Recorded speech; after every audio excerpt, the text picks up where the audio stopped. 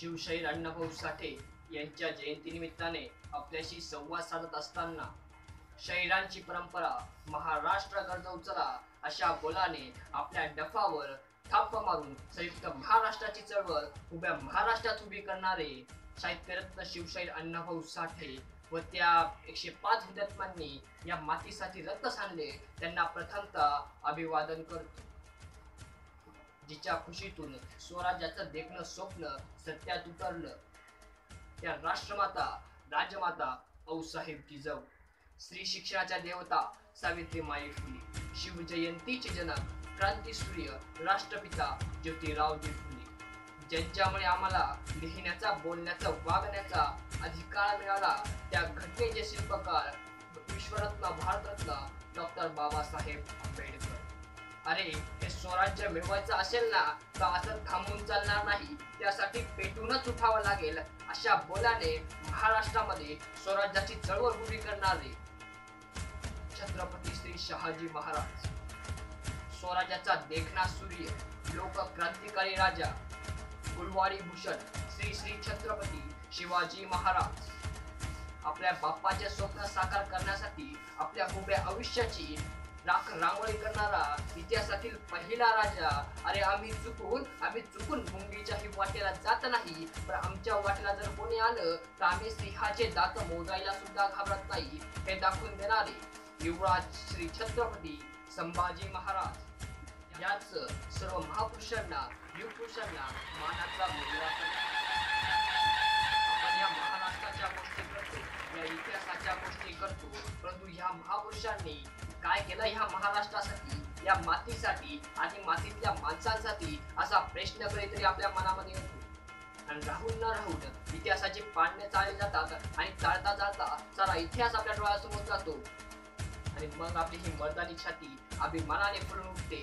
कारण की भारतातील प्रत्येक राष्ट्राला भूगोल आहे परंतु महाराष्ट्र असं एकमेव राज्य आहे. त्याला इतिहास आहे इतिहास. आणि तो इतिहास म्हणजे काय?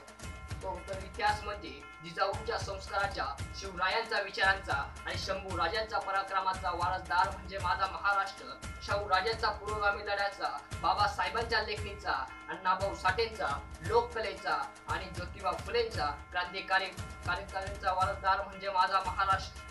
कष्टकरी शेतकऱ्यांचा दिन दलित दुबळ्यांचा एकशे पाच हुतात्म्यांचा आणि दिल्लीच्या हिंसकाला घाम करणारा जिगरबाज मावळ्यांचा म्हणजे माझा महाराष्ट्र. आमची परिस्थिती खूपच दयनीय आहे. आज आमच्या घरासमोर सडा गेला. आणि आमच्या घरी राडा झाला. आज आमच्या घरासमोर तुळशी गेली आणि आमची मंडळी आळशी झाली. एक्सक्यूज मी मेरा दिल तुझपे फिदारे अशी म्हणणारी तरुण कार्टी या महाराष्ट्राच्या उरावर जन्माला यायला लागली आणि आमची मंडळी या जातीपातीच्या नावाने अडकायला लागली आणि ह्या महाराष्ट्राचा इतिहास पार बदलूनच गेला. ज्या महापुरुषांनी आपल्यासाठी रक्त सांडले त्यांच्याच नावाने एकामेकाचे रक्त काढण्यात आम्ही व्यस्त झालेलो दिसून येत आहोत. ही फार आणि फार शोकांतिकेची बाब आज आमच्यामध्ये घडत आहे. कारण कारण आपण महापुरुषांच्या विजयाची साखळी आपण कधी ओळखलीच नाही. छत्रपती शिवाजी महाराजांचा आदर्श महात्मा फुले यांनी घेतला. महात्मा फुले यांचा आदर्श राजश्री शाहू महाराजांनी घेतला.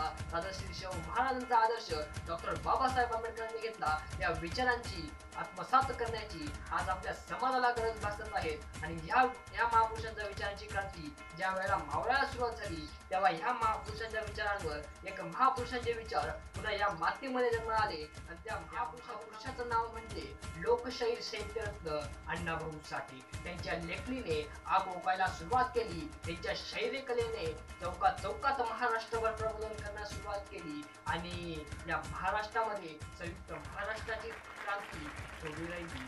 ते तिथे स्थापित ते अण्णाभाऊ कसले त्यांच्यातील शिवप्रेम त्यांच्या शैलीतून बाहेर येतच होतं. महाराष्ट्राचा इतिहास सांगायला ते अतुरलेलं होतं. अशा परिस्थितीत त्यांनी रशियाचा दोन रशियातील हा चौक त्यातील लोकांना महाराष्ट्राचा इतिहास समजून सांगितला.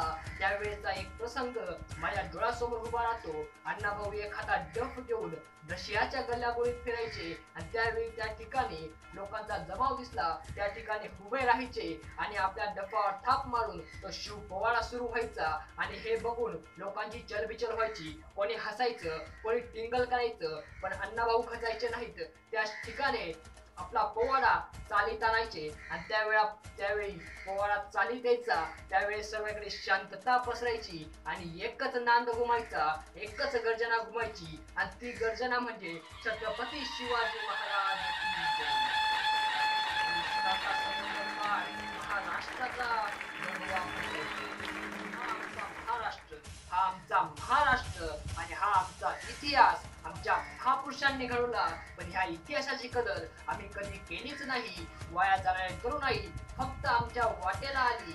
आमच्या तरुणांना आज नव्यासारखा रोग होतोय आणि आम्ही आमचा इतिहास कोणत्या वाटेला घेऊन जातोय? शेवटी जाता जाता एकच सांगतो. क्यों मरते हो यारो शरम के लिए क्यों मरते हो यारो शरम के लिए मरना है तो मर जाओ इस वतन के लिए. कुछ ऐसा कर जाओ जिंदगी में. ये तिरंगा भी झुक जाए तुम्हारे कफन के लिए ये तिरंगा भी झुक जाए तुम्हारे कफन के लिए